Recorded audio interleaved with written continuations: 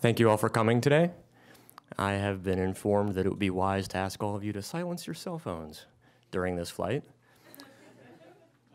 Dr. Sauer, who is scheduled to speak first, is actually running a few minutes late, so if it's all right with you, we'll be inverting some items on the agenda and moving directly to my own remarks. My name is Giovanni Ruffini. I am a professor of history and classical studies, director of the classical studies program. The reason why the classical studies program is hosting this event may not be immediately obvious, but hopefully will become clear in the next few minutes. It has been just over a year now since Vince Rosivach died, near the end of his 53rd year as a professor in our classical studies program. Now, anyone whose career reaches that advanced stage, I think will have many stories told about him. Many of those stories apocryphal, unlikely, some of them even suspicious. And as we gather here today to celebrate the launch of the Fairfield Slavery Project, I think of two of those apocryphal stories in particular that I would like to share with you today. Now, as with so many apocryphal stories, uh, they may have some grain of truth to them and are, in any case, too good to be thrown out. So, here we go. The first story actually goes back several decades, I think long before most of you were here, to a time when Vince still kept an office at the end of the history department hallway on the third floor of Canisius. While he was not a member of the history department, Vince always considered himself an historian. He was justifiably proud of his research and writing as an historian, and perhaps unkindly, was critical of his colleagues who put less emphasis on the research and writing side of their work. Background music. According to the first apocryphal story that I've received from the traditions of our elders, in the middle of a fight, because he had a few of those, with our department's former U.S. colonial historian, Vince stormed off in a huff, announcing, and I quote, if none of you are willing to research local colonial history, I'll do it myself. Unquote. Now, Vince, as always, was true to his word, and the result was a series of articles on colonial Connecticut published in the mid 1990s, including two on slaves and slavery in Connecticut. There, the matter sat for quite a while. When I first got to know Vince 10, 11 years ago, his interest in slavery was, was in the rearview mirror, not quite out of sight. He always imagined he would find time to come back to it later at some point.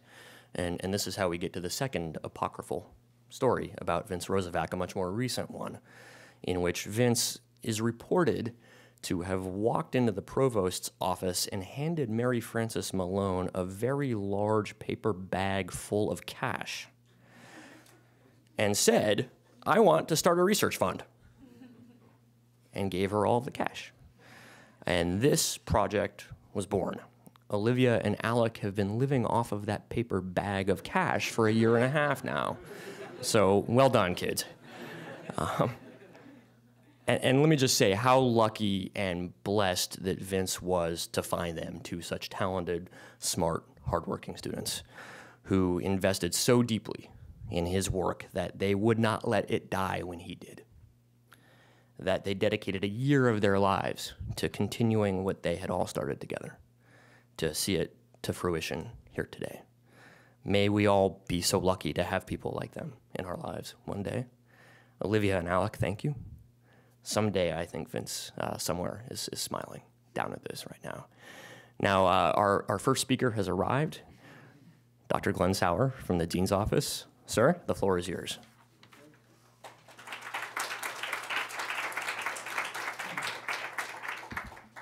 Thank you. Thank you, uh, Giovanni. And thank you all for coming. Um, I'm Glenn Sauer. I'm in the College of Arts and Sciences Dean's Office, and I'm just here to welcome you all. Um, you know, Giovanni has told you uh, many things already about Vin. Um, you know, I didn't know Vincent that well, although I served with him on committees over the years, but I didn't really know him personally. But I did, um, I was, so I, I, was a little bit surprised um, to see that he was involved in a slavery project that, that dates back, as I understand, to the 80s.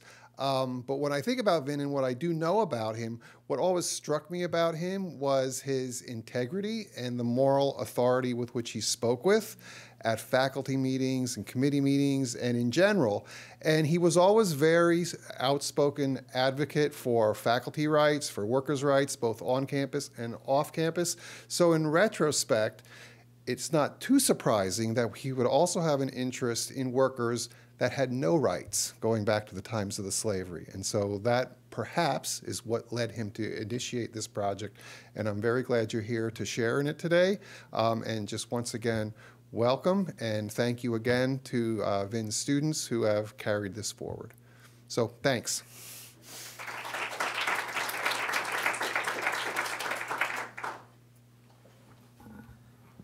Without any further ado, the students of the Faculty Student Collaborative Research Project, Olivia and Alec.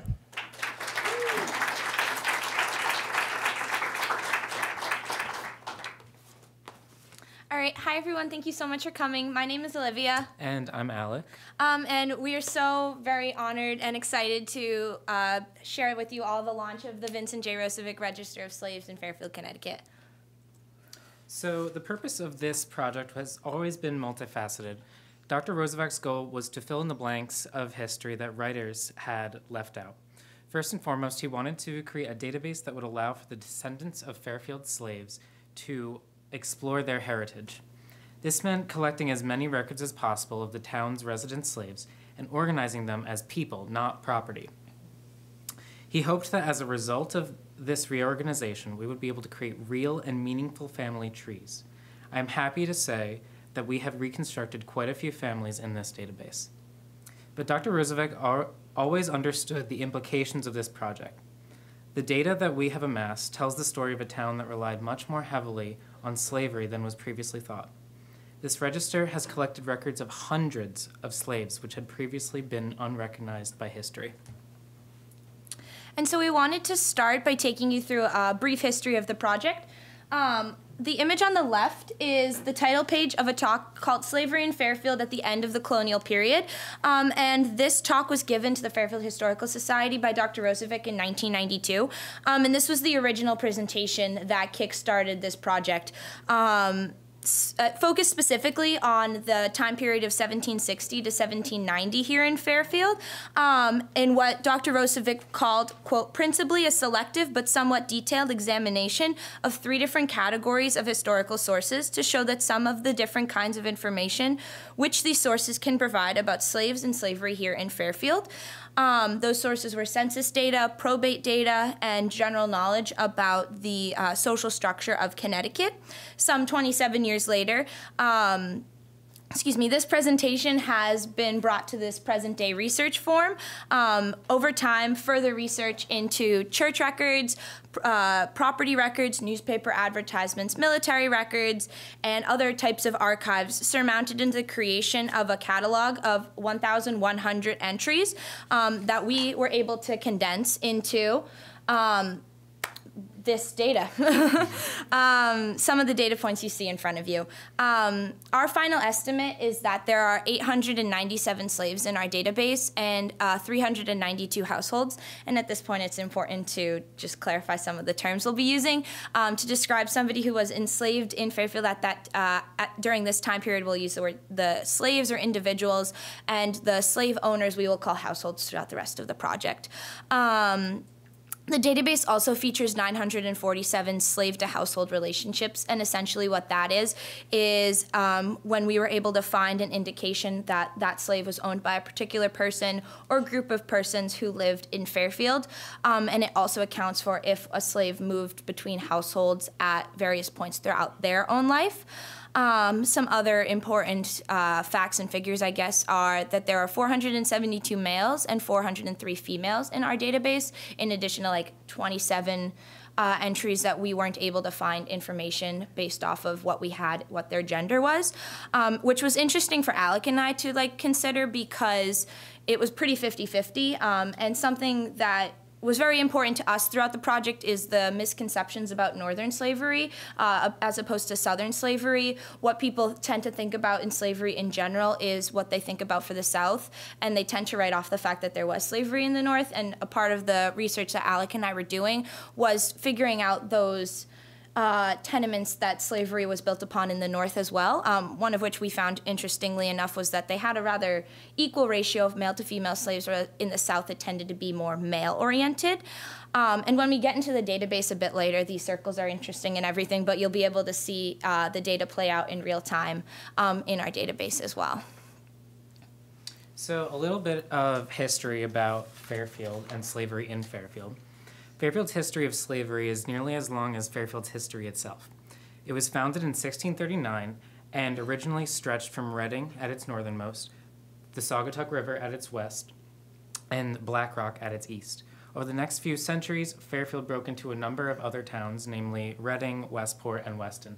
And as you can see, this is a map that I personally altered so that you could see the different boundaries. And at the top, you have Redding, that orange shape that breaks off from Fairfield in 1767. Then lower down, you have Northfield, which turns into Weston and Easton, and that breaks off from Fairfield in 1787. And then everything lower than that, with the green lines around it, is what we have been considered considering Fairfield from uh, 1639 to 1848, which is Fairfield's founding to the ending of slavery in Connecticut. This also includes Westport. Westport didn't break off until essentially all of the slaves in Fairfield had been freed. Um, so slavery in Fairfield really gets its start uh, right after King Philip's War, uh, which was fought between European settlers and an alliance of American Indians.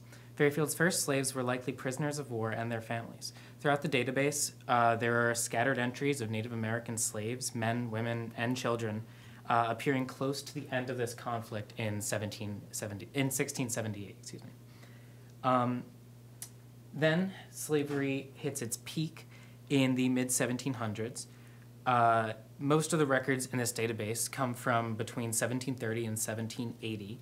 Uh, and this cluster of records made it originally difficult to figure out the number and uh, demographics of the slaves in Fairfield because the first U.S. Census wasn't until 1790 and it was flawed at best.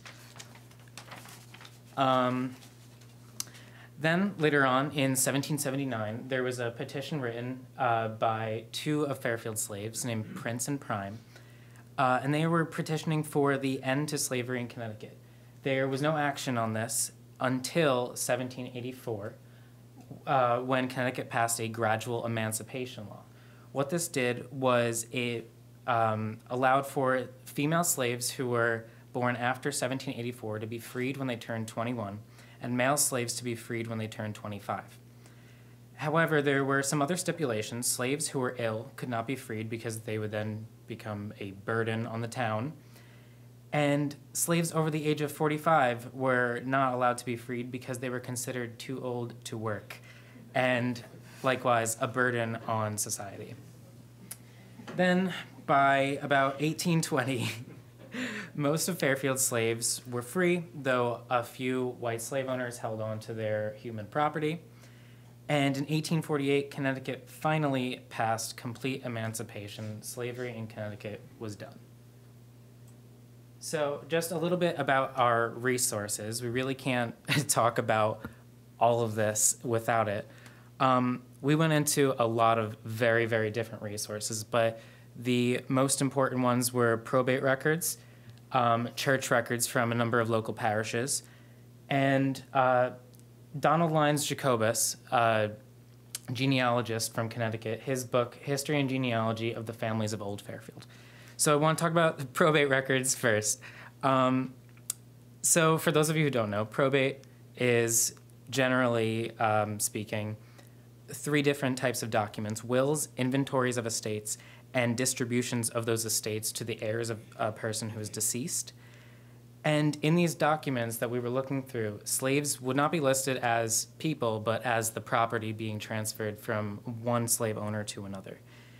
And so what we were doing is basically going through each of these sources and pulling out pieces of property and listing them as people. Um, now, each of these people typically has a certain value ascribed to them and some descriptors, including Negro girl, Negro wench, stuff like that. And so we would do our best to try and figure out how these people were connected and so on. Um, church records were equally as important. Um, so the parishes of Fairfield, Greens Farm, Stratfield, Greenfield Hill, and a few others uh, kept records of residents' births, deaths, baptisms, and marriages.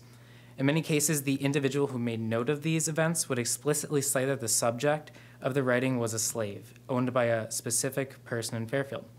Slaves, like other people in Fairfield, were allowed to be married and even baptized. However, these records can be muddled in naming practices of the time. For this reason, it's often difficult to determine whether certain individuals are free or enslaved because slaves and a lot of uh, recently freed slaves did not have last names. Um, and then lastly, Donald Lines Jacobus, this genealogist that I just mentioned, um, his book, which was published in the earlier half of the, of the 20th century, um, History and Genealogy of the Families of Old Fairfield, yes, we have a physical copy right here, um, compiled extensive genealogical trees of many of the prominent families of Fairfield. This book was invaluable to us as a research team as we tried to identify who specific slave owners were. And as we were going through this, we, of course, came across the issue that this book only listed white uh, residents of Fairfield for the most part. So the book generally excludes non white residents except for a few in notes sections. And women are listed in this book only as the wives and daughters of an individual entry. Uh, so this book provides a wealth of information for us as we were trying to figure out who these people were, but it didn't tell the whole story. Uh, this next slide just shows some images of the primary source documents we used, uh, plus the cover of Jacobus's book. Um, but the next thing that we wanted to do was talk about our methodologies and what we were specifically looking for in those sources that Alec just was talking about. Um, as Alec mentioned, we were using a variety of different primary sources um, to aid in our research. These documents could be quite overwhelming on first glance, like those are kind of really hard to read. Um, and it became clear to us once we knew what we were looking for, um, and we wanted to share some of those things with you today. Um, some of the things that we would be looking for in our uh, research of primary sources um, included uh, the name of the slave, if applicable, the slave's household, um, their value, any birth, death, baptism, marriage information if it came from a church record, um, and then citations for where this information was found. By far the most important thing we were looking for. Um, it was also important for us to note any records of movement of the slaves, um, any interesting notes in the distribution, um, and those would all go in like a notes section. Um, and once completed a record, it would look something like this. So the picture um, on the screen you see right now is the uh, inventory of Abraham Morehouse in 1761. And as you look at the screen where the arrow is pointing, you can see that it's pointing at an entry called Negro Girl named Dinah uh, 30 pounds, but she's not the only slave listed in the inventory. If you look on the line above, uh, Negro wench, 20 pounds. Next to her, Negro girl Jenny, 28 pounds, maybe? Something like that. Some, 28. Uh, Negro girl called Nancy and Negro boy called Jack. Jack. Um, so that group of five were the slave slaves of Abraham Morehouse that he listed in his inventory. This was the information that we would compile for Dinah, um, including any ba- the baptism record we have from the Fairfield Congregational Church. Um, in the will of Abraham Morehouse, which is not pictured here, it states that he bequeaths, which means give. Dinah to his daughter Rebecca, and then the citations. And then what this all translates into is the following uh, entry. So this is our database. Um, and this is what Dinah's entry looks like. The catalog number is something that Alec and I used uh, to kind of keep track of our own records. Um, Dinah was owned by three different people. She has three different catalog numbers to make sure that we had all of that information uh, when we were condensing it into this one database. Uh, she's a female, and then all of those same notes, plus a couple of more from the other entries, are listed there, as well as the story of Dinah, which we'll talk about a bit later. And then this part down here is the really interesting part about our database, I would argue. Um, her husband, her children, and her house, uh, the households of which she was a part of, are all able to be linked to Dinah's one entry in our database. And then, if you're interested in learning more about those people, they link directly to each other. So they're all looped into each other, and you can explore families um, as easy as the, click of the mouse, which I think is pretty cool. Um, let's see, where is cool? Awesome. And so that was one half of uh, our methodology, um, data collection, and how it came into the catalog. The other half was the households. As Alec already mentioned, um, Donald Glenn Jacobus did a lot of this work for us. So it was mostly just finding the citations in his sources um, and making sure we were connecting the right people to the right slaves. Um, in the example of Abraham Morehouse, to continue Dinah's little story. Um, we knew it had to be an Abraham Morehouse who died in 1761. That first red circle up at the top is our first context clue in um, Abraham Morehouse's entry, and this is a screenshot of Jacobus. I forgot to mention that. Um, the second context clue we really had was that he bequeathed Dinah to his daughter Rebecca, um, who married uh, Matthew Jennings, which you can see in the second circle is listed also right there. Um, so with that information, we were able to conclude that this was the right uh, Abraham Morehouse, and we came up with our own little code uh, to identify that this is Jacobus Book 2, page 667, line number 9, so we could find very specifically where it was in um, Donald Glenn Jacobus's book. The catalog number, as I just mentioned, is us cross-referencing, making sure that all of the information got into the database um, and all of the proper slaves were attributed to the proper households. And then, like with Dinah, this is what that entry looks like. Um, like I said, Donald Glenn Jacobus did a lot of the work for us. So we direct you to book two, page 667, line nine, um, to get more information. And it also links all of the slaves, just like it did in the uh, in the slave side of the database. Um, and this might seem confusing and overwhelming, but we have laptops, so you're more than welcome to explore during our reception at the end, so you guys can explore through the database as well. Um, cool. That being said, uh, this is our database. Um, it lives at digitalhumanities.fairfield.edu slash slavery. Um, and this is the first page when you enter into our database. Um, the image in the background is a woman named Nancy Toney, who is actually a slave that we found in uh, Fairfield, and this is a portrait of her, which I think is pretty interesting. It lives in a school in Wilton, I believe. Windsor. Windsor. I always get that wrong. Um, and there are very there are uh, several ways in which you can explore our database. The first, as I mentioned, was the slave side of thing. If you know the name of a slave you're looking for, you can search them in the search bar or just go through our pages um, 892, it might be easier to use the search bar. Um, and then the same thing with the households. If it's a woman who we know who they married, um, we'll include their former name as well in case the slave was listed under that information in the primary source you may be looking at or someone in the future may be looking at. Um, the other way, if you just want to explore, um, is to go to our graph this is a really awesome tool that's not loading. Ah, there it is. Okay. Um, this is a really awesome tool um, that Robert Hoyt in the library helped us to create. Um, and it is family mapping essentially of all of the families and the um, slaves that we had. So if I scroll out, scroll out, um, you will see all uh, 892 individuals. You can move throughout the database. Um, and if you zoom in, you can also see different family units. I picked a scary one. there we go. That one looks nice. So the blue lines are children attached to um, parents, and the red lines are individuals who are married to each other. Um, and the same thing applies if you're interested in learning a bit more about Edward. You can click on it and get directly to his information. Um, so that's a little bit about our database. Um, and we, the next thing we wanted to do was share a couple of the stories because there are so many.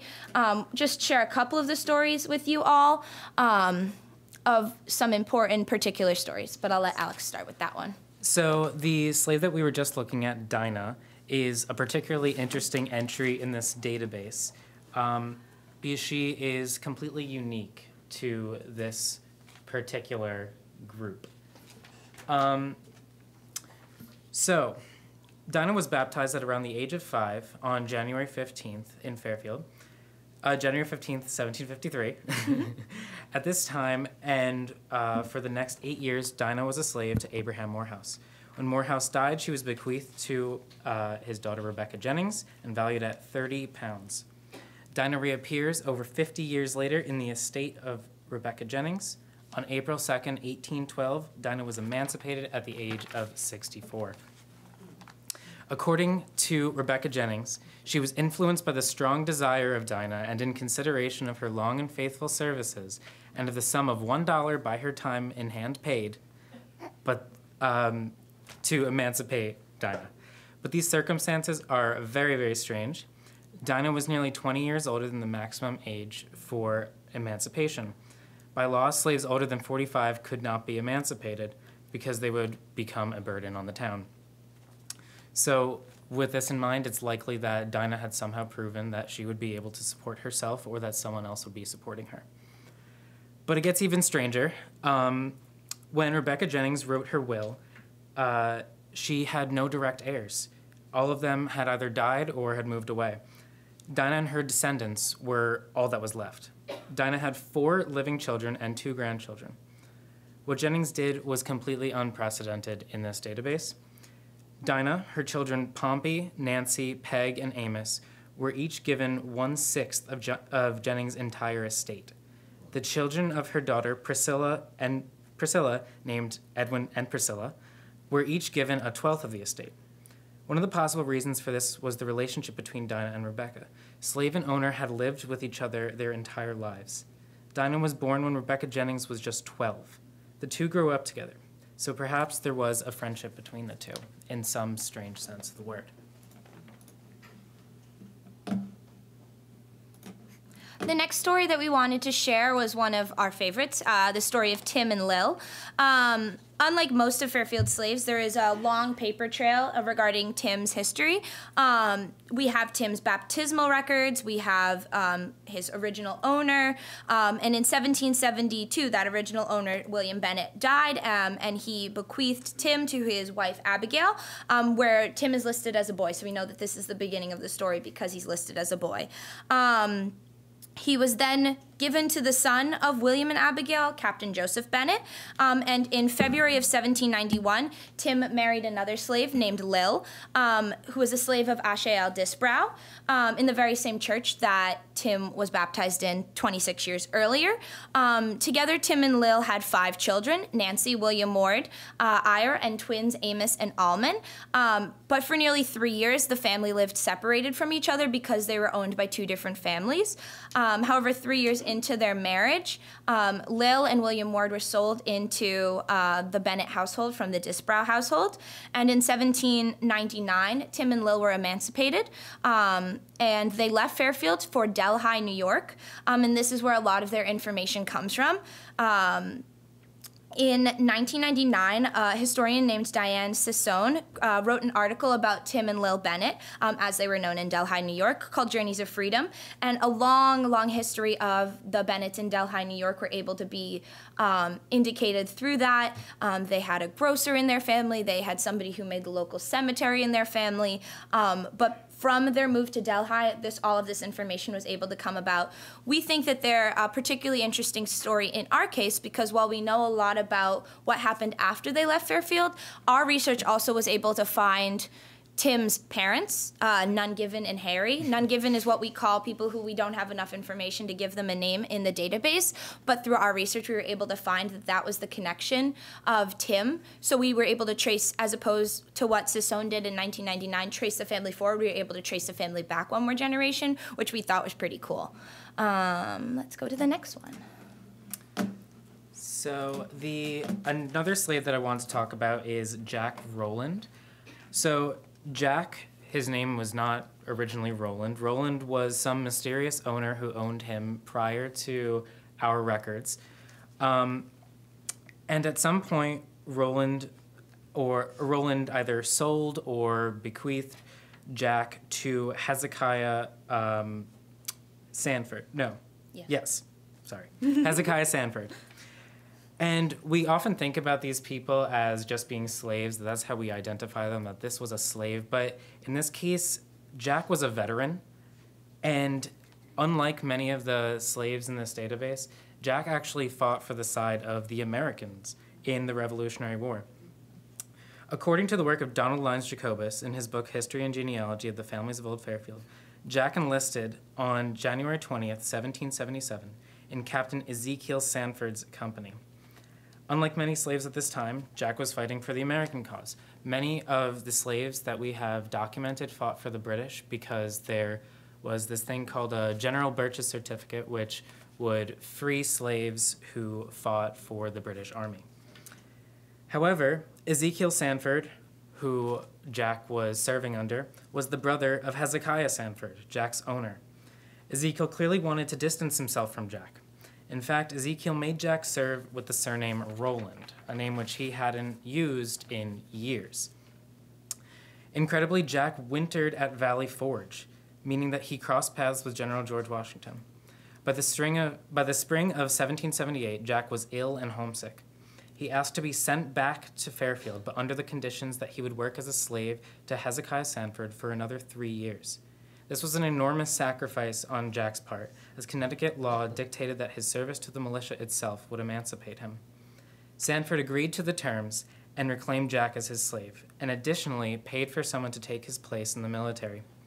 After being given his freedom at the age of 28, Jack took the name Freeman. He stayed in Fairfield, but what he did to stay afloat is still unknown. And the final story that we wanted to share uh, today was an example of a slave that we found when we just weren't looking for them. Um, last semester, I was writing a paper about uh, the history of Fairfield, and I was using a source entitled. Um, the Slaves of Central Connecticut, and I was just using it as a background research for a paper that I was writing when I came across uh, some information about a woman named Time who was born in 1773 in Newtown, but in 1804. 1804 was sold to former slave Titus Bradley for $50. Uh, Titus was a former slave here in Fairfield, and he was formally emancipated by his owner Hezekiah Bradley in 1802. Uh, freed slaves purchasing uh, loved ones was a very common practice, so this was just what we thought another example. When I looked into the database, I didn't see them. We were able to add them in there. But according to the historian Daniel Crewson, who wrote the book, uh, their story is a little bit different than some of the other ones we were expecting. Uh, this purchase uh, stated that time was sold, quote, for and during her natural life of the said Negro girl. Um, and giving the wording of this document as we supposed across the other documents that we were looking at, um, this suggested that she was still a slave in the traditional sense when uh, Titus Bradley purchased her. However, Time and Titus were married.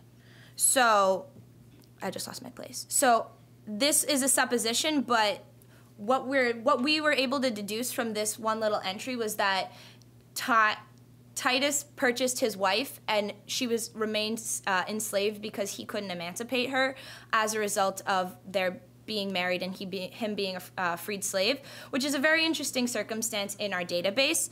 Um, and the reason why, again, we wanted to share this story was I was doing research on something completely different, and we found a new slave for our database, which kind of goes to say that this work can never truly be done because we don't know what types of data is still out there that we haven't yet discovered. Um, and we're going to move on to what's next. And simply put, what next is what's next is anything. Um, this project can still be expanded upon. There are certainly probate records we didn't get to look through yet, um, and like I said, other types of sources we just simply haven't crossed paths with yet.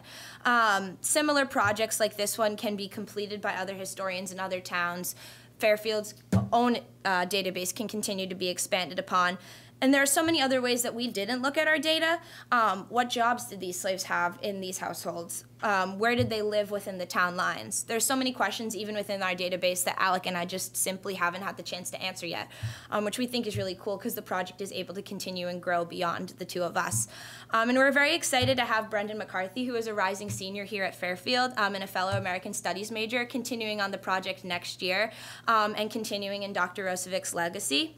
Um, as for what you all can do um, with our database, it will permanently live here at the university at digitalhumanities.fairfield.edu slash slavery. Um, which is very exciting. Um, and students, faculty, staff, anybody who is on our web, library website is able to use our database to continue in their own research or interest in the project, which I think is really exciting.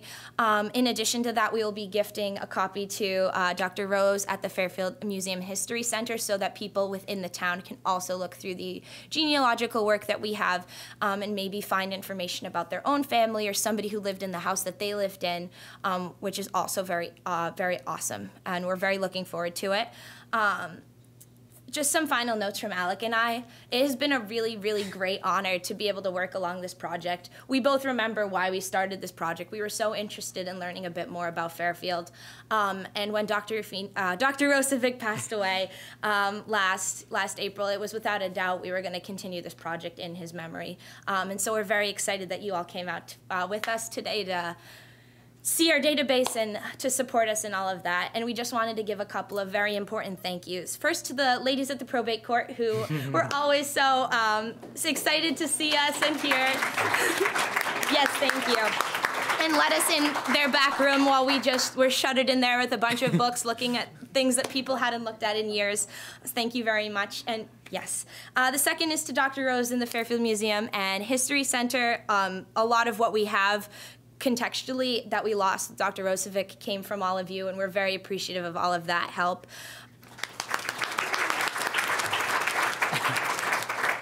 I mentioned him already, but Robert Hoyt, who works here in the library, Alec and I have no idea how any computer things work, and without Robert Hoyt, this wouldn't have been this would have been possible. Um, so thank you for always helping us with this and answering my very late night emails with a meeting the very next morning. Um, very, very appreciative of that. And finally, to our mentor, Dr. Ruffini, who uh, took on the project and us um, after Dr. Rosivach's passing last year. Um, we very much appreciate your guidance, your support, um, and your help throughout the last year. And we're very, very appreciative of all that you have done for us. And thank you so much. Mm -hmm. Finally, to Alexa Malati, who helped us uh, organize this event today and helped us order all this wonderful food and print these wonderful brochures. Thank you so much for all of your help. Do you have anything you want to say? You want to say anything? Ah, so thank you very much, and Dr. Feeney's going to say something final.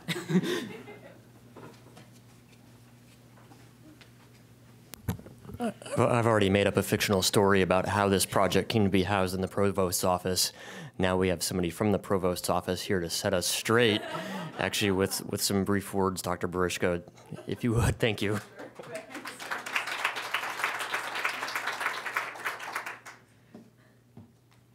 Good afternoon, everyone. I'm struck by the fact that this to me is what a Fairfield education looks like. It is extraordinary what these two young people, Alec and Olivia, have done under the guidance of Professor Ruffini. Could we just give them one more shout out? It is amazing.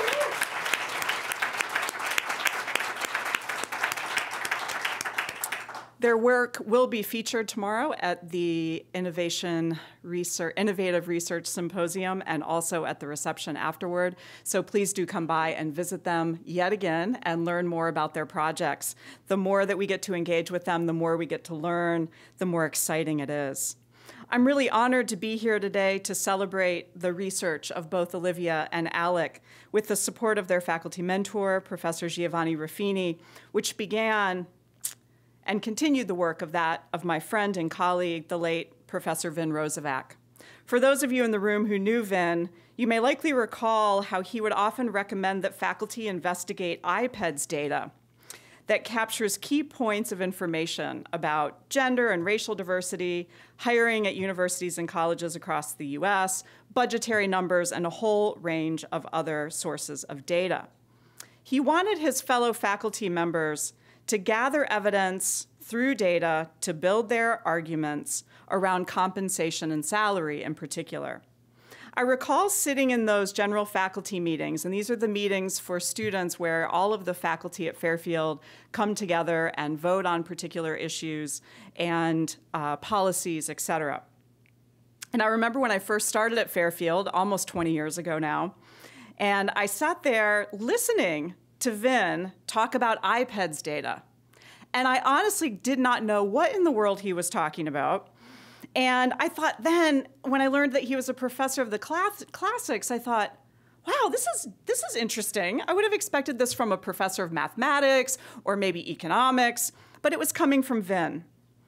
And what he was doing was inviting us into the ways that we can gather evidence, make arguments, and assert our claims based upon them. He was making a bigger case, in short. He was inviting faculty to learn the facts on their own about the university where they worked and taught our students. He was inviting us to understand that knowing your immediate context is critical to understanding and shaping your reality. This research project to create a register of slaves in Fairfield, Connecticut manifests the impulse of Vin's life and work.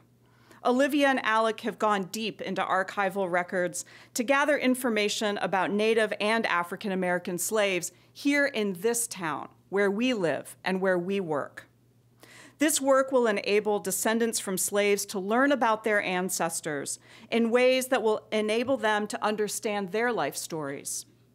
Such work contributes to that of others, such as Sharon Morgan, and from other people around the country who have developed archival data and done so so that descendants of slaves in the United States can investigate their genealogies. This effort today that we've learned about connects to others that started under the Works Project Administration or the WPA in the 1930s, when journalists and writers were paid by the government to travel throughout the South and gather the stories of the last generation of living slaves. This archive, now at the Library of Congress called Remembering Slavery and popularized by the HBO documentary, offers a groundwork for the Fairfield Project, which belongs to a rich and essential one in the United States. How many of you know about the Remembering Slavery Project? Few of you? How many of you have used it in your classes?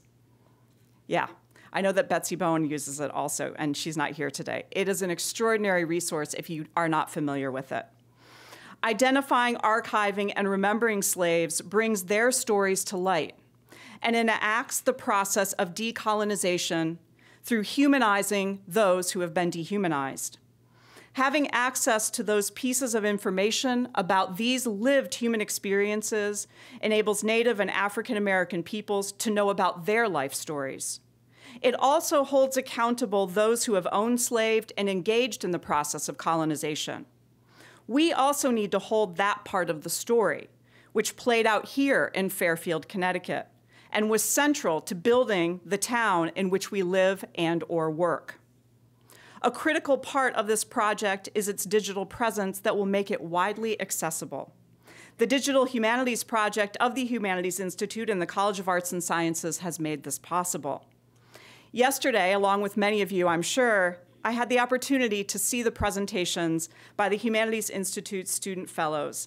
And I was particularly struck by two of those presentations that I thought echoed the work of both Olivia and Alec. One project examined the murals in Connecticut post offices that were painted as part of the Works Project administration in the 1930s. And the other was about folklore in the Gambia. These may seem a bit disparate, so hear me out. Alec and Olivia engaged in deep archival research to unearth a critical part of Fairfield's local history, gathering information about slaves, many of whom were forced to come to the United States from the African continent, where the Gambia is. Ultimately, their project will enable descendants of these peoples to know their story, a critical element of making sense of our realities that expand well beyond the boundaries of Fairfield, Connecticut to the world. Such research projects carried out by Fairfield students under faculty mentorship are the hallmark of a Fairfield education. We support our students in taking their interests and pursuing them beyond the classroom or the laboratory, whether it's deep into the bowels of a museum's basement or across the Atlantic to the Gambia. Professor Rosivach understood the centrality of this process that makes a Fairfield liberal arts education so unique. This afternoon, we celebrate his memory as it lives on through this project, which will contribute to our collective understanding of the world in which we live, and it will empower us to make it a better place. We do, in the provost office, have support to continue this work. And we are committed to supporting the student who has already been identified, and we will continue to support this work. And we look forward to doing so.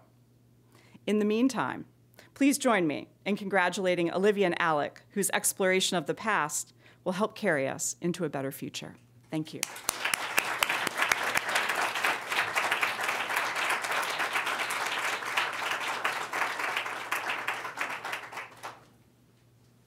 Thank you. Now, I know we have three laptops set up with a database for all of you to explore yourself in real time now, but before we do that, if there are any questions for Olivia and Alec, I know that this wouldn't be complete if we didn't put them on the spot and make them squirm a little bit about the work they've done. So please, if any of you do have any questions, I know I, I have several myself, so if, if any of you would like to ask. So, I was wondering if there was going to be the opportunity for others besides those who can access Fairfield's library site to interface with this information. Okay. Um, yeah, so that is something that we're definitely going to be considering as we move forward from today. Um, I think that the two most important places for us to deliver the site to um, before today was to the university and to the Historical Society. Um, and so then moving forward, um, I think that one of uh, both of our goals is to figure out other places that we can house it. Um, I was going through emails just last night, um, like from the last two and a half years attached to this project to see anything else I could pull out. Um, and I found an old link that Dr. Rosivach had sent us about um, a project that's local to Connecticut that puts down stones or like memorials of where slavery used to occur in Connecticut. So that's something that I mean I'm going to look into in the future. Um, but there has to be more places like that that we can also explore, including places to put the database itself. I'd be glad to share some ideas for that. Thank you, Dr. Rose. yes. Can you tell me, um, the genealogy books that you, um, have referenced online, are they online as well? so, yes and no.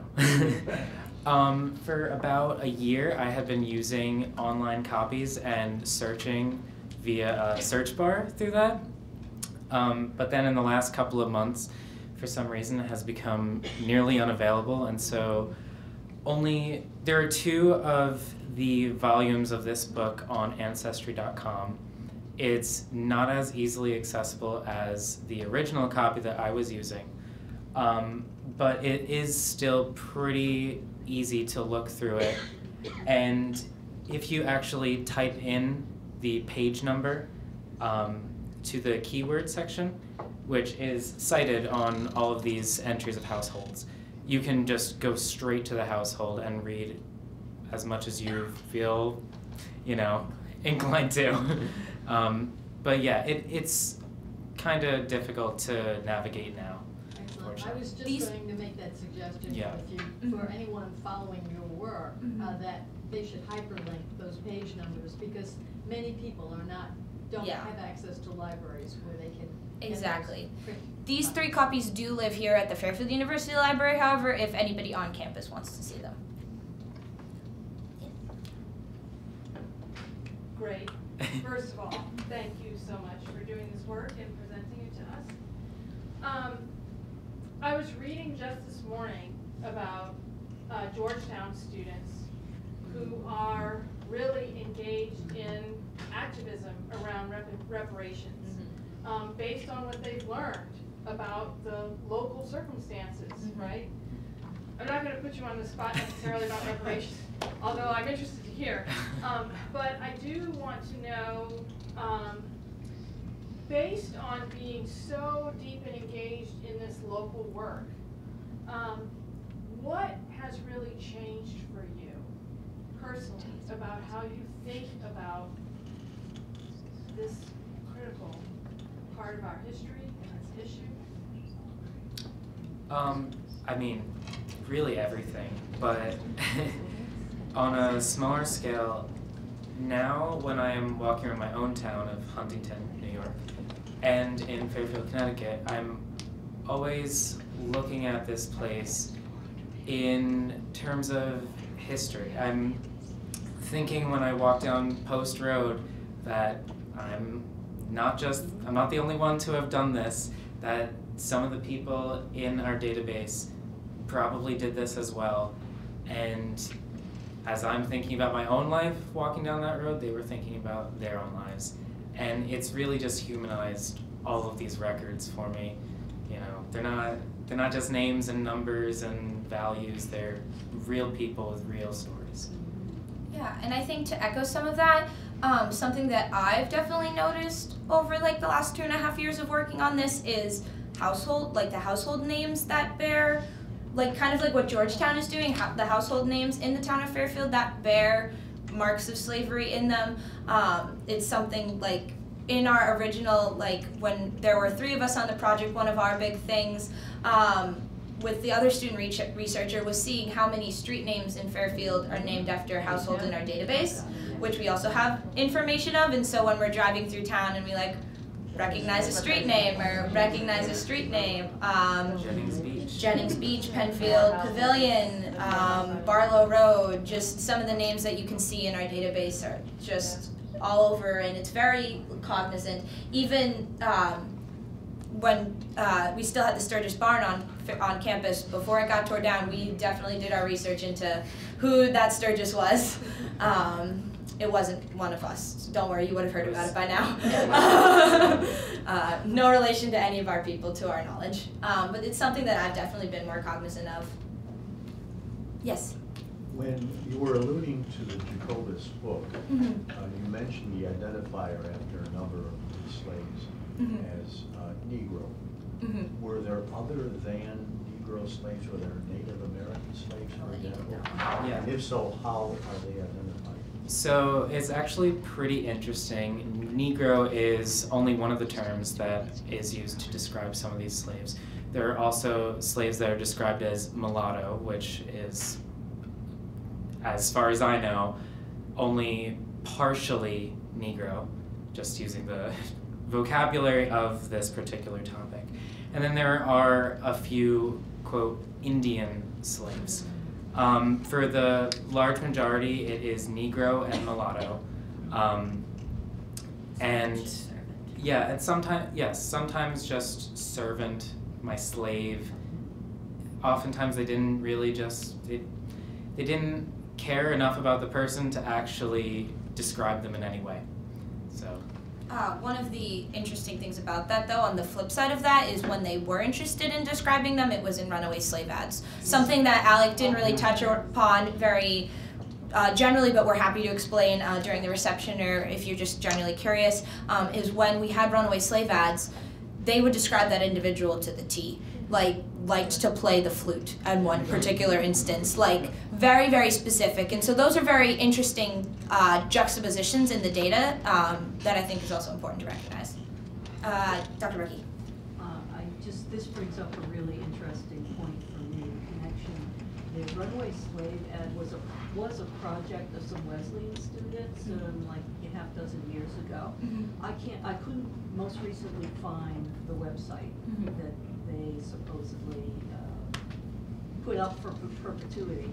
But if you have a list of those, most importantly, if you actually have JPEGs of those, if you've made photos of them, um, that might be a very interesting ancillary, uh, database Mhm. Yeah. that you could use.